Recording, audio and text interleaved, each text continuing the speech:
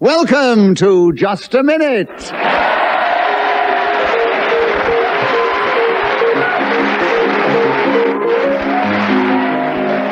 Thank you, thank you, hello. My name is Nicholas Parsons, and as the minute waltz fades away, once more it is my pleasure not only to welcome our many listeners throughout the world, but also to welcome the four highly talented and humorous performers who this week are going to play Just a Minute. It is with tremendous pleasure that we welcome back one of this country's finest comedians, that is Paul Merton. We welcome back a humorous limerice, uh, lyricist, I should say, and also another fine comedy performer, Kit Hesketh Harvey. We welcome also, back after a long absence, that charming and clever comedienne, Linda Smith. And we welcome also someone who's never played the game before. So he's shaky at the present moment, but he is a talented comedy performer. That is Chris Neill. Would you please welcome all four of them? Thank you. Beside me sits Janet Staplehurst, who's going to help me keep the score, and she will blow a whistle when the 60 seconds are up. And this particular edition of Just a Minute is coming from the recently refurbished Theatre Royal in the cathedral city of Winchester. And we have, yes. And you can hear that we have a fine, warm, receptive Hampshire audience ready to cheer us on our way as we begin the show this week with Paul Merton. And Paul, the subject is poetic license. Tell us something about that in this game starting now. The early 19th century is often considered the golden age of poetry. There were so many poets around at the time, they had to be licensed by the government. Coleridge himself was only allowed four stanzas a month, whereas Wordsworth was lucky if he was permitted to dash off the odd limerick between August and October. It is the most extraordinary concept now, and people won't believe you if you tell them that there was a time when poetry was considered so enriching. Uh, Chris Neill is challenged. I didn't know that. I think it's rather reckless of me first time. His fingers slip. Very restless, yes, carry on. Was there a hesitation? There was a hesitation, Chris. Yes, you're quite right. You, you, you just shouldn't have hesitated in your first challenge. You're in there. Well, no, I wish I hadn't, 'cause I've got anything to say. Right, yes. well, you've got your first point in just a minute. You've got the subject, it's poetic license. There are 29 seconds available, and you start now. Uh, I think. Oh, yes. Yes, Paul. I don't know, I feel bad about this really. we did start with her. We did, we did start with that. I think on this occasion, as it is the very first time he's No, I ever don't played. mind. No, no, no. it's the first time you've ever actually spoken on Just a Minute, so we do allow a newcomer one er right at the beginning. But from now on, there's no mercy. Right. I'm a bit So, angry, so we won't charge any points on that, and All say right. that you have 28 seconds now on poetic license starting now. to call Ainsley Arrowtett. Oh, Linda. A, a bit of uh, Yes. deviation. Uh, well, Yeah. he- well, deviation Well, uh, from English, yes. But, yes. but I mean, uh, But normally we allow people who've never played the programme before at bit of least half a dozen chances to get a sentence out. I know. Well, what we'll have to do is give Paul a bonus uh, point because he, it was a correct challenge. Yes, that's right. You're, you're right, Paul. Yeah, yes. all right, I'm happy Uh, now. Yes, you're happy now, yes. he gets a point because of a correct challenge. Uh, and uh, Linda's get a point for a correct challenge. And she now takes the subject with 26 seconds, poetic license starting now.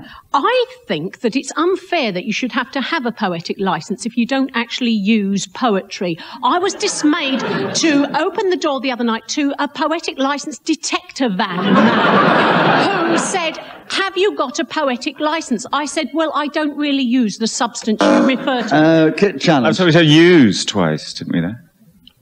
Oh, sorry, was that unsporting? Oh, Kit, you've depressed them all now. I'm sorry. Isn't it funny that you get a correct uh, challenge, which is a clever one, and they are depressed? Um, they're resentful. They get, they get, they do take sides. Uh, Cri- They um, do, Kit, it's, yes. it's bitter, it's You'll yes, find bitter. a- but, but take heart, Kit, they turn. They turn. They can be very fickle, a just a minute audience. Uh, Kit, you've got a correct challenge, so a point for that, and you have eight seconds on poetic license starting now. I believe that every time the poet laureate passes a motion, as it were, he has to forfeit his hogshead of Malmsey or his.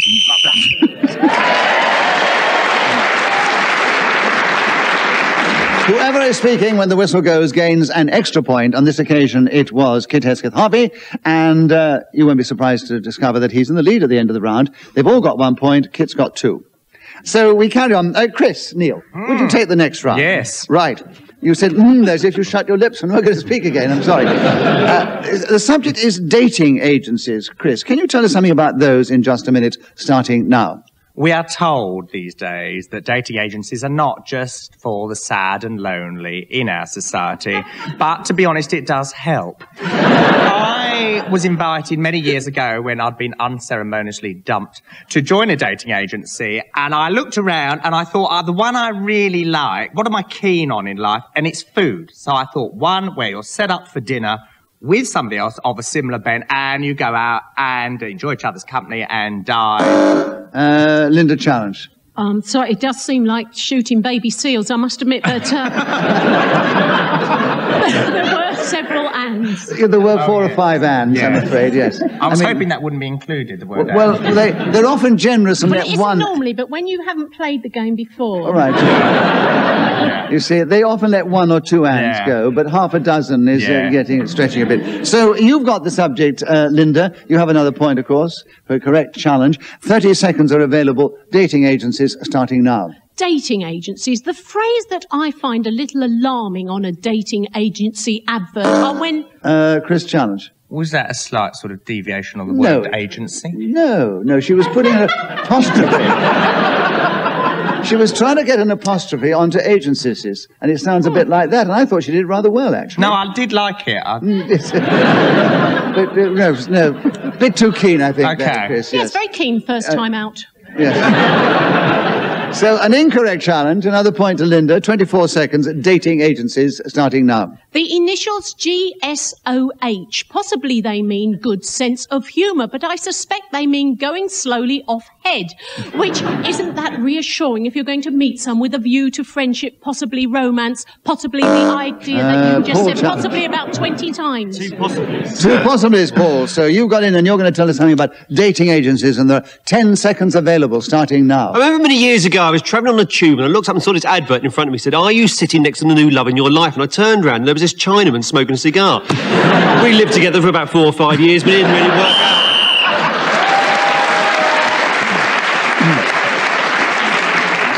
So, Paul Merton was speaking as a whistle when gained an extra point. He's now equal with Linda Smith in the lead, just ahead of Kit Hesketh Harvey and Chris Neill. And Linda, your turn to begin. The subject is multitasking. Can you tell us something about multitasking? 60 seconds to go, starting now.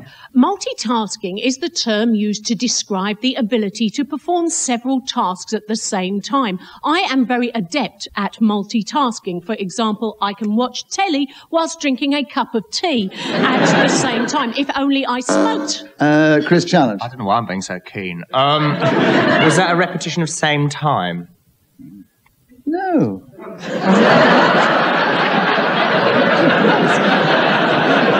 I, I, I'd like to challenge the chairman, actually. yes, yes. Deviation, I'm sorry. Well, well, listen, Chris. Hmm. That's right. Yes, same time. Kit So can did- have it. I don't mind that. No, no, no, no.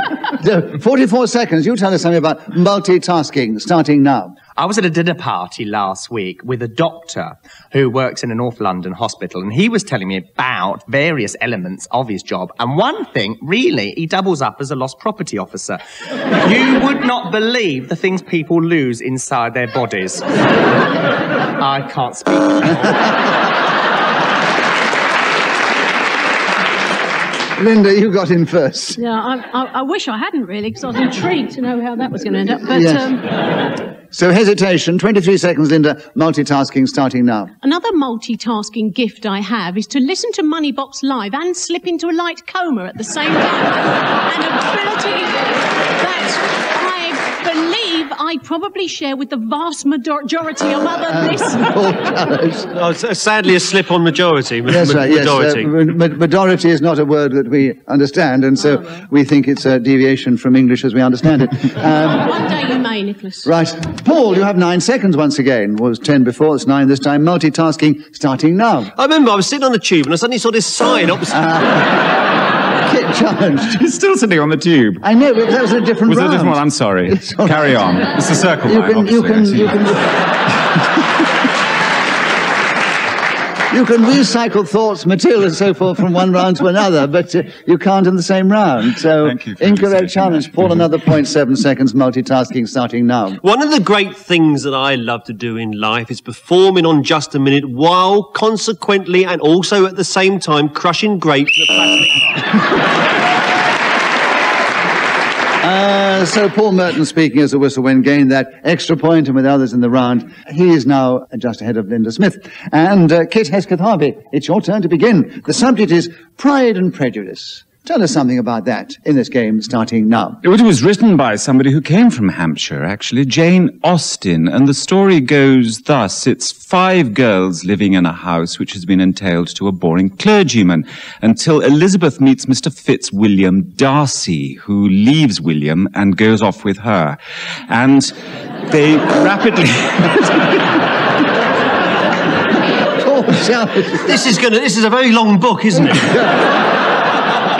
It's very long. It's taken a devious turn already. I think. It's not the Well, it was book. a that- hesitation. then. Yeah, uh, hesitation because he realised he'd deviated from what Jane Austen had written. uh, right. So, Paul, a correct challenge. Pride and Prejudice. Forty-one seconds starting now. It's one of those books that I've never read, but I often watch the television adaptations. There's been a many versions over the years. Who can forget the one with Charles Hawtrey, Will Hay?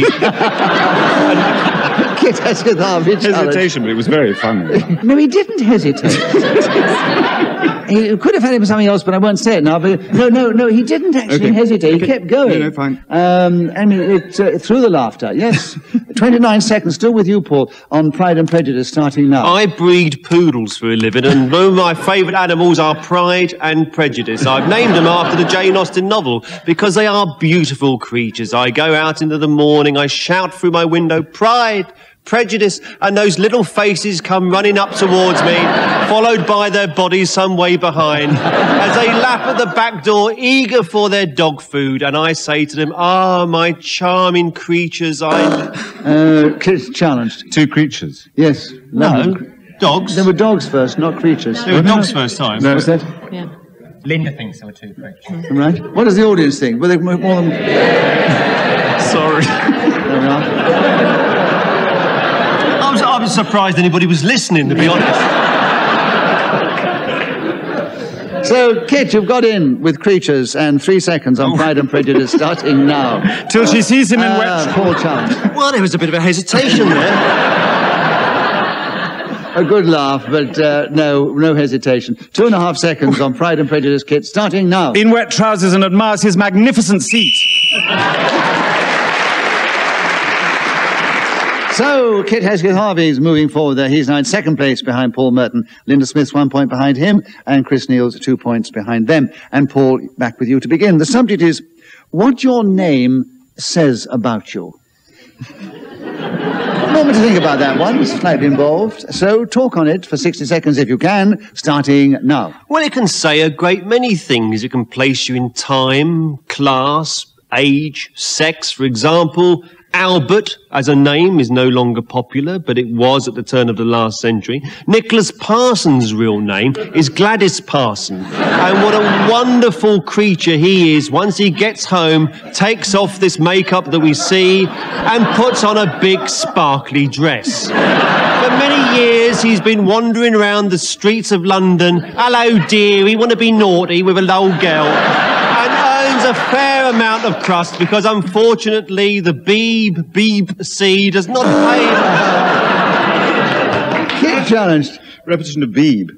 I said Beeb no, BBC. No, he said very clever. He said, Oh, did he? B- I'm sorry. BBC. Well done. No. No. I mean, actually, after, after what he said, I'd be very happy to give it away. But um, uh, but he didn't actually. No, he very cleverly said Beeb BBC. Beeb BBC. yeah. Yeah. I just want to ask, Yes. um, just because I'm new to this, um, but does it matter that the BBC isn't anything as such? Deviation So is that a deviation? It's a bit late now, isn't it? No, no, no. Just, just it's quite cold in here, and my mind's working slowly. Um, Yes, if you challenged for, for deviation, I would have given it. oh right, okay. But it's too late now. Okay, no, no, no. Yes, it's that's right, slightly yes. retrospective. I know. Um, uh, no, no, but you were clearing up an interesting point. And, uh, Thanks. it put the audience. Lull the audience into a slight sense of shock or coma, I don't know which, but Uh, so, Paul, it's still with you on what your name says about you, starting now. Kit of Harvey could be the half-back line of West Ham United, or it could be the name of the gentleman sitting next to me. By those very words, we conjure up perhaps a man who didn't go to a comprehensive school. Nothing wrong with that. We can't all have the right start in life, but somehow he struggled to make it all the way to hear Winchester to play just a minute.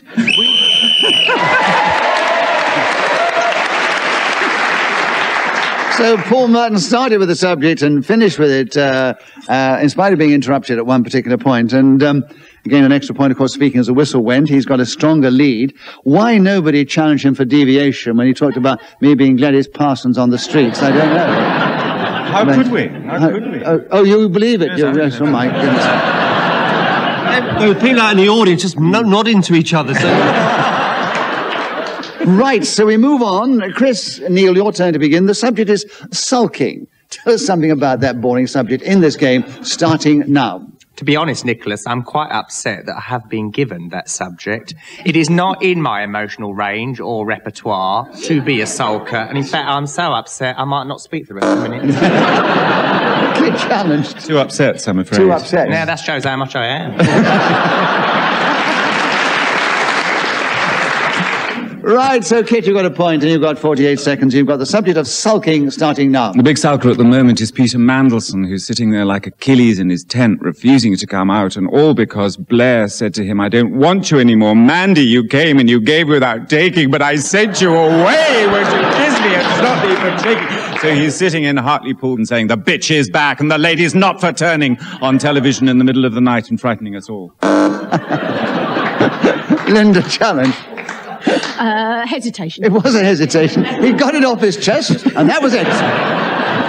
Right, so Linda, you've got the subject of sulking. You have 27 seconds starting now. Sulking is something many of us do, particularly when we're teenagers. You've got a lot to sulk about. Suddenly you put on a lot of weight, all of it on your lower lip, it seems. You just walk around pouting the whole time. And you manage to put about five syllables into the word no if anyone asks you a question. You sort of go, I won't say it because that would then be repetition and I'm not falling into that trap. Oh no. I- Oh no, Kit, you challenge first. Repetition of no. I'm No, afraid. yes, yes. It's a tough game, isn't it? But isn't it fun? Kit, you've got in cleverly with two seconds to go on sulking, starting now. Paul Merton, Aid Edmonton, Victoria Wood Green.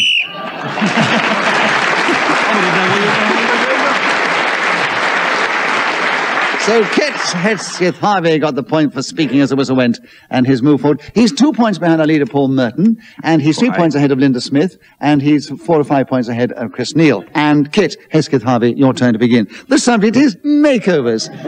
Tell us something about that subject in this game, starting now. Somebody who's had a marvelous makeover recently is the Shadow Home Secretary. She used to be so like the back end of a horse, didn't she? But now she's Widdicombe fair with her lustrous peroxide teaseled he- locks and...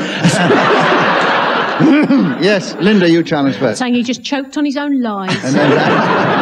So we call that hesitation. Linda, you have makeovers. You have 47 seconds starting now. Makeovers are a modern scourge to my way of thinking. I'm utterly sick of them on the television all the time. I bet somewhere in a cave in Afghanistan, one of bin Laden's many wives is nagging him saying, never mind international terror. When are you going to get that back bedroom in the cave made over?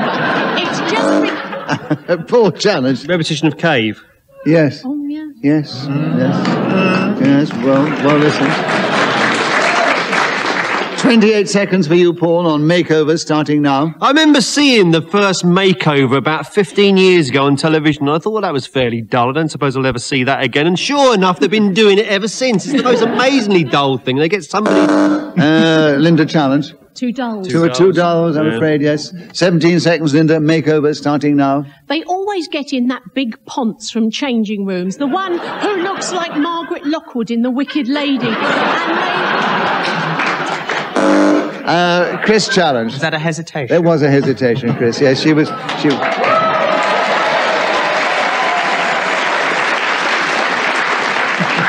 you're such a fickle audience. I don't know whether you're clapping Linda's last remark, which is very funny, or Chris, the fact he's got in. So, Chris, you've got makeovers in seven seconds starting now. I cannot think of anything finer than being given a voucher to go into a top London West End department store, have a lady clamber over me. So Chris Neill gained points in that round, including one for speaking as the whistle went, and he has leapt forward, and he's still in fourth place. But um, but no, he's not very far behind Kit Hithithabi. He's a few points behind Linda Smith, and even more behind Paul Merton, who's still in the lead. And Chris, it's your turn to begin, and the subject is Keats. Tell us something about Keats in just a minute, starting now. I know why I've been asked this. It's because Keats was inspired to write his lovely Ode to Autumn. I've forgotten the words. Uh, when he was, oh, I've hesitated.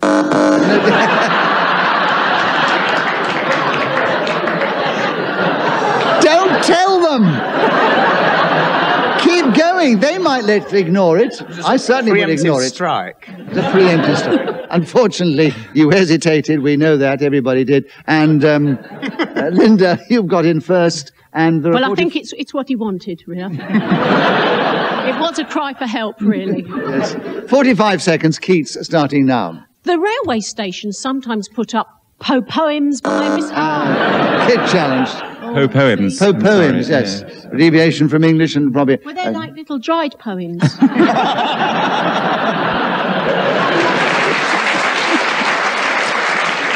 They sound like lavatorial poems to me. The, um, uh, anyway, you've got in Ki- uh, Kit with 45 se- seconds on Keats starting now. He was, along with Coleridge and Shelley and Wordsworth and Byron, one of the new romantics like Simon Le Bon and Adam Atom. and he wrote all sorts of... Uh, Paul challenged. Well, there was quite a lot of ands. There were quite a lot of were bands, I'm afraid, yes. yes. So, Paul, you've got in 36 seconds. Keats starting now. I don't know anything about him.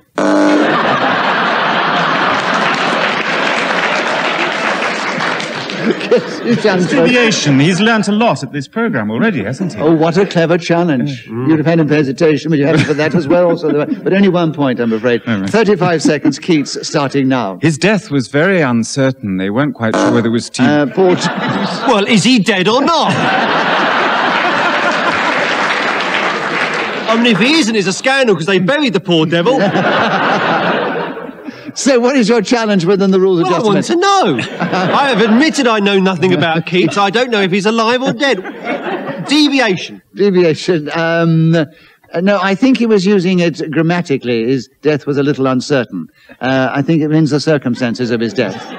So well, that sort of thing could confuse a stupid person. No, no. Uh, Paul, what I will do, to be fair and generous, they loved your interruption, so we give you a bonus point for that. But uh, Kit gets a point because it was an incorrect challenge, and he continues on Keats with 32 seconds starting now. whether it was going to be consumption or not, TB or not TB, that is the question.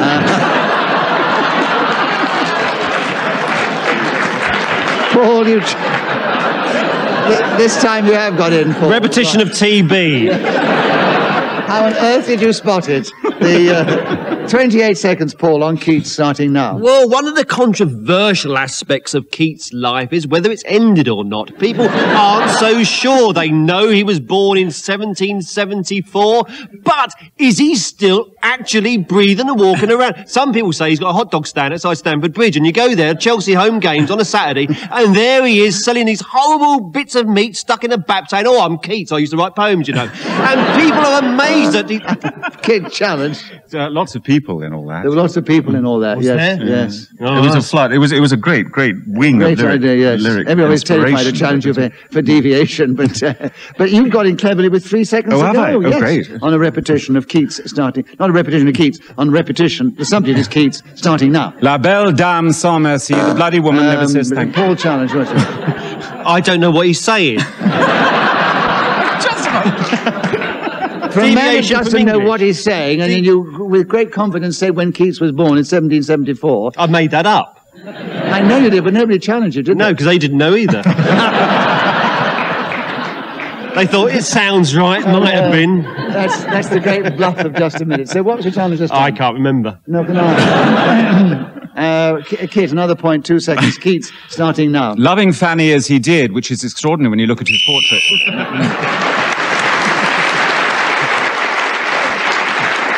So Kit Hesketh Harvey gaining a number of points in that round, including one for speaking as the whistle went.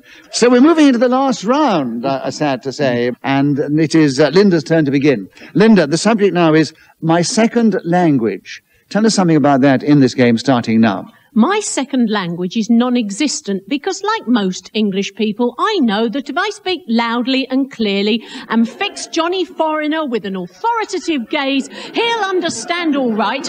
And if he doesn't, well, I think he's probably bluffing. Uh, Chris Challenge. Well, there were quite a lot of he's. There were. Yes, a lot of he's. Well, listen, Chris. So you got in on 45 seconds to go uh, on my second language starting now. My second language is that of romance. I have often been compared to Beppe from EastEnders. it's, it's what with me, um, me Mediterranean look and me growly voice, I was going to say, but um, I've got to say, Chris, the trouble is you come up with these bombers and the, you, you love them so much yourself that you dry yourself up. I know. And you can't keep going. I know. You mustn't be such a good audience for your own jokes.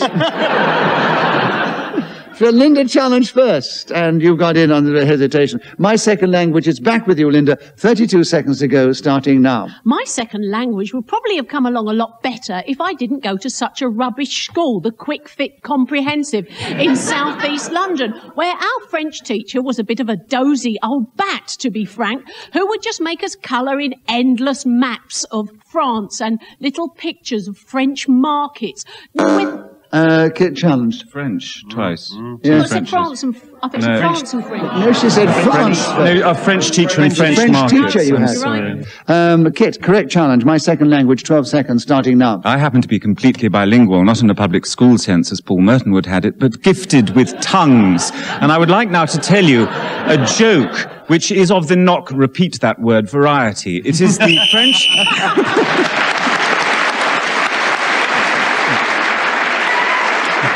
So, as I said, that was to be the last subject. We have no more time to play this delightful game. And uh, just to let you know the final situation, Chris Neill finished up in fourth place, but only just, just marginally behind Linda Smith, who was in third place. But out in the lead, together equal, which seems a very fair situation, we have Kit Hesketh Harvey and Paul Merton, our joint winners. Congratulations. Thank you. Well, we do hope you've enjoyed this edition of Just a Minute, and it's my thanks to our wonderful players of the game, Paul Merton, Kit Hesketh Harvey, Linda Smith, and Chris Neill. And uh, I thank Janet Staplehurst for helping me with the score and blowing her whistle so beautifully and elegantly. We are indebted to Ian Messiter, who created the game that we enjoy playing, and also we thank our producer, Claire Jones, for keeping us in order as best she can and making sure it all goes out so smoothly. And we are very, very indebted to this delightful, very lovely, exciting, sexy audience here in the Theatre Royal of Winchester. From our audience, from our panel, from Nicholas Parsons, goodbye until we next time we play Just a Minute.